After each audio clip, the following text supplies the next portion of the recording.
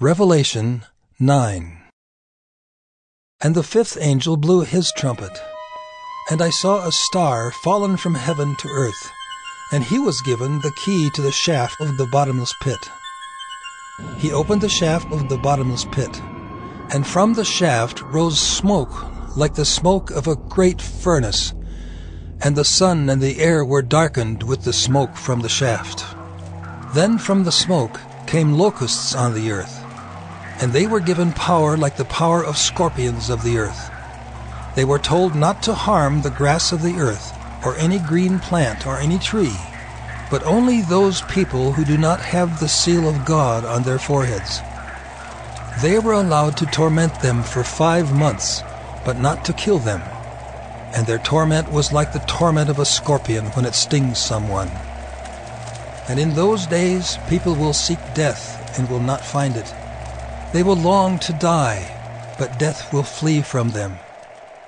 In appearance, the locusts were like horses prepared for battle. On their heads were what looked like crowns of gold.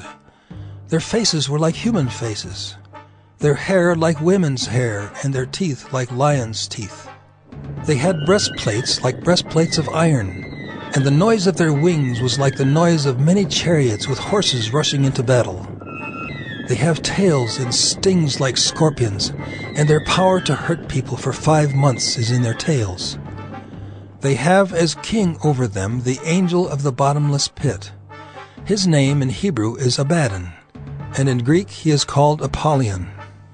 The first woe has passed. Behold, two woes are still to come.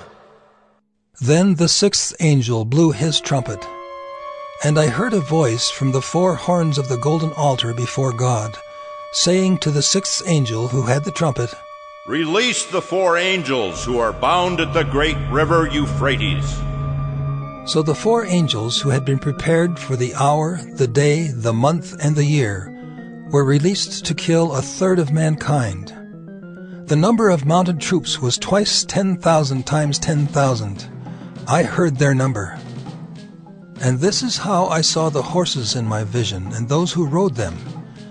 They wore breastplates, the color of fire and of sapphire and of sulfur, and the heads of the horses were like lions' heads, and fire and smoke and sulfur came out of their mouths. By these three plagues a third of mankind was killed, by the fire and smoke and sulfur coming out of their mouths.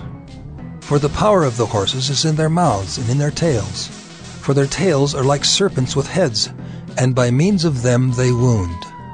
The rest of mankind, who were not killed by these plagues, did not repent of the works of their hands, nor give up worshipping demons and idols of gold and silver and bronze and stone and wood, which cannot see or hear or walk. Nor did they repent of their murders, or their sorceries, or their sexual immorality, or their thefts.